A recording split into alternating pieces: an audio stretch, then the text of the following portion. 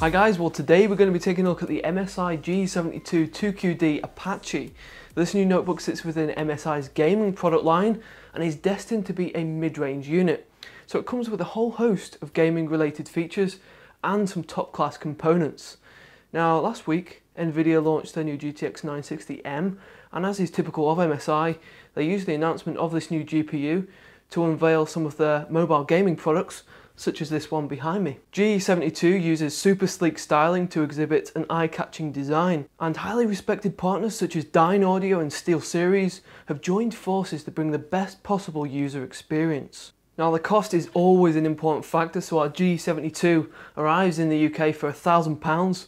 Over in the States it's $1,400, uh, but do bear in mind that the configurations may differ slightly, and obviously the prices too.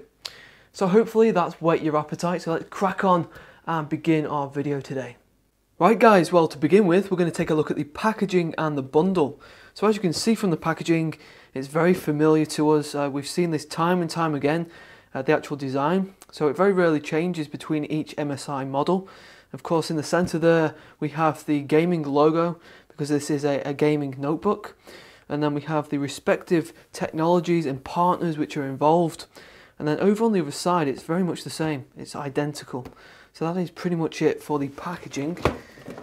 Of course have this uh, carry handle at the top here which can be useful if you don't have a satchel and you're taking this notebook to a LAN party so that can come in handy. Just open her up. Inside we have the notebook here inside a fabric sleeve that's well protected. And then inside here we have the documentation. Now with this particular model and perhaps even for the foreseeable uh, models which are going to come up from MSI, we don't get a driver CD. So if you're wanting to get the drivers, the utilities, then you'll need to get those off the website. So here we've got the quick start guide, we've got the warranty service book, we've got the warranty uh, sign up, we've got the recovery function, and then the opportunity to get this laptop for free if you uh, just fill out a questionnaire. And then last of all, inside here, we have the charging unit. So this is actually quite slim, lightweight. It's uh, 120 watt, and that is going to work in conjunction with the power cord. And of course, with us being in the UK, we've got the UK edition here. And obviously, if you're in the US or Europe, then you'll get your respective country. So here we have our notebook, the G72. And the design and the styling of this notebook isn't unfamiliar. You'll have seen a similar theme before from previous MSI models. And MSI has given G72 a wonderfully crafted lid here, which has been engineered to use brushed aluminium. And as you can see there, we have these accents which have been carved out to really give the notebook some definition. In the centre there we have the MSI gaming logo, which when the system is powered up, when the notebook's powered on, it will give a nice warm red and white glow. Flipping the notebook over onto its reverse, we see there that there are a number of areas marked down which allow the internal components some ventilation. We also have four rubber feet to prevent the unit from slipping on smooth surfaces. Now the underside of G72 also features a subwoofer and we have some front-facing speakers. The audio on this notebook is supplied by Dynaudio and offers up to 4.1 surround and while we can't demonstrate how good this is on the video, how good the audio quality is, you can take our word for it when we say it's extremely impressive. And while we have the notebook on this particular side, it'd be a good idea for us to remove that back cover to take a closer look at the internal components. Now you'll have noticed that there is no detachable battery with G72 and that's because the unit is fixed into the notebook. So if you do happen to need a replacement then you'll need to send the entire notebook directly back to MSI. Now the G72 uses a 6 cell unit which provides us with up to around 4 hours of light usage. At the very heart of our notebook is Intel's Core i7-4720HQ. This uh, processor is relatively new to the market, having arrived at the start of the year, and is quad-core and is based on Haswell architecture. This chip sits at a base speed of 2.6 GHz, and then it turbo boosts up to 3.6. Our notebook has two DDR3 slots, allowing up to 16 gig of memory. MSI has actually supplied G72 with 8 gig of Hynix 1600 MHz DDR3, which should be sufficient for most enthusiasts and gamers. Now, one of the major features with our G72 is, of course, the inclusion of NVIDIA's new GTX 960M. So this GPU offers us 2 gig of GDDR5 and is capable of handling the latest gaming titles at high detail and decent frame rates, as you're going to see when I demonstrate this a little later. For storage needs, for the primary drive, so that's the operating system, there is a 128 gig Kingston M.2 SSD and there is the option there to add in another two drives and to make use of Super RAID 2 or 3. And then for the secondary drive, for the main storage, there is a HGST Travelstar 7K1000, which is a 1TB mechanical drive, and that operates at 7200 RPM, and it uses the 6GB interface.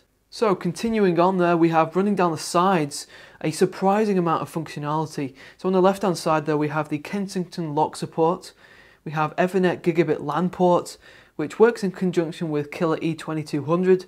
We have one USB 3 port, HDMI port, mini display port, so that we can output to bigger multiple displays. We have a further two USB 3 ports, and then the gold plated headphone and microphone jacks. Over on the other side, there is a Blu-ray drive, a single USB 2 port, an SD card reader that supports both SC and XC cards, and the AC power port, which of course works in conjunction with the supplied charging power pack. So opening that lid, we have a large 17.3 inch screen, which is FHD and which offers anti-glare, and it supports a maximum resolution of 1920 by 1080. This screen is nice and vibrant and is crystal clear. And then at top there we have a 1080p webcam, which is handy really if you're on the go, you need to jump on Skype for a conference call using either the video or just the mic. As we'd expect from MSI, the keyboard is in partnership with well-established partners SteelSeries. So this keyboard is LED backlit, it works in combination with the SteelSeries engine for advanced customization, so you can pretty much modify the colours and apply commands and macros as you please. And what I really like about this entire area is that the brushed aluminium effect has continued and it's one piece. The region looks stunning and it flows really well. Now the design of the touchpads on these MSI notebooks have often in the past been criticised by ourselves but we're happy to say that with the new G72 there is a definite improvement over previous versions. The touchpad area here uses a granular surface texture with two corresponding left and right buttons.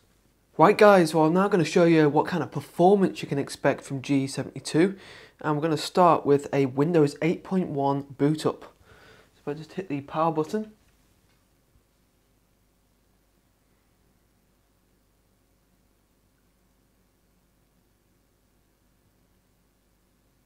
So that was from a fresh boot and as you can see under 10 seconds there that SSD really comes in handy. Now there is a useful button just above the keyboard on this notebook and it allows you to have both fans inside the notebook running at 100% so that's maximum performance and obviously this is going to emit a bit more noise so what I'm going to do is I'm going to take my microphone off and just place it near those fans and just give you a bit of a demonstration as to what it's like with it off and then when we switch it on obviously uh, the noise difference.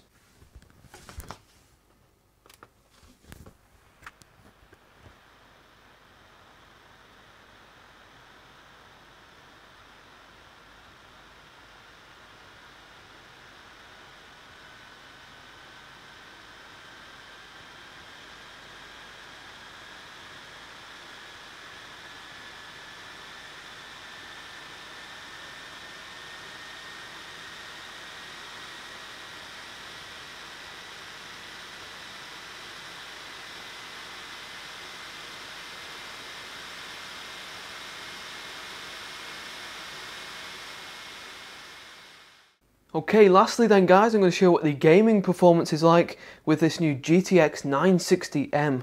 So we've got the charging unit already plugged in. That is really important because we don't want any power saving restrictions occurring. Without that power unit plugged in, we would get frame rate drops and we don't want to have that. Uh, we've got uh, Thief and Tomb Raider, which we're going to be showing because those have got built-in benchmarks. If we want to know what uh, Assassin's Creed Unity Battlefield 4 or Far Cry 4 was like, we'd have to use fraps and that would be quite awkward to use for the video. But if you do want to know what those gaming titles are like, please head over to the link in the description for the full review because we cover a wide selection of different games over there. Now for the temperatures, we're going to be using MSI Afterburner. We have used GPU-Z in the past, but we had some difficulties getting the temperatures to display for this new card. Perhaps it needs a new update. So, going to kick things off then with Thief. Now for the detail level, we've selected uh, obviously 1080p, turn VSync off, we don't want any frame rate cap. And then we're using the preset which is high. So that is all good if we go into the game.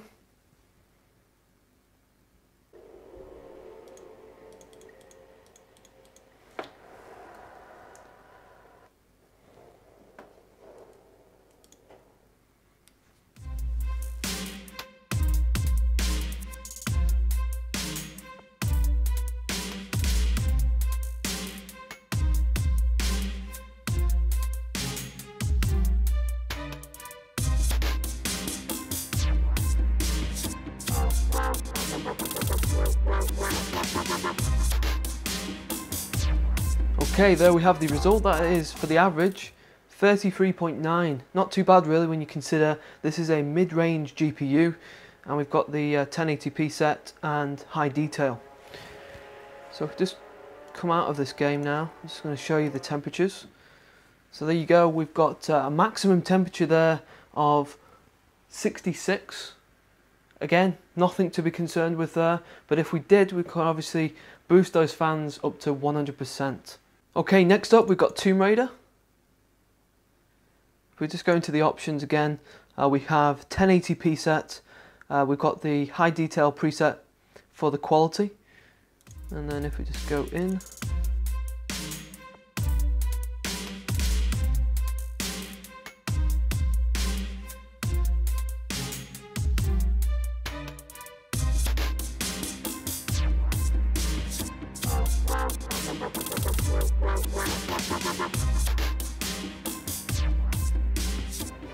And the result there for Tomb Raider, as you can see, average frame rate 70.5. Again, 1080p, high detail, that is quite an impressive result. We just come out and have a look at the temperatures. 64 for the maximum there on the, uh, on the degrees centigrade.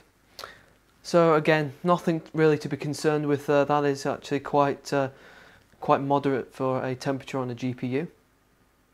So that is the new mid-range G72. So by now, if you're a regular reader or subscriber of ours, you'll see quite a few MSI notebooks. Uh, you know, the overall design generally remains quite consistent throughout uh, the lineup of notebooks that MSI offer. And this is great, you know, when you think about it because uh, the build quality, the visual appearance is always spot on and it leaves you with no concerns at all.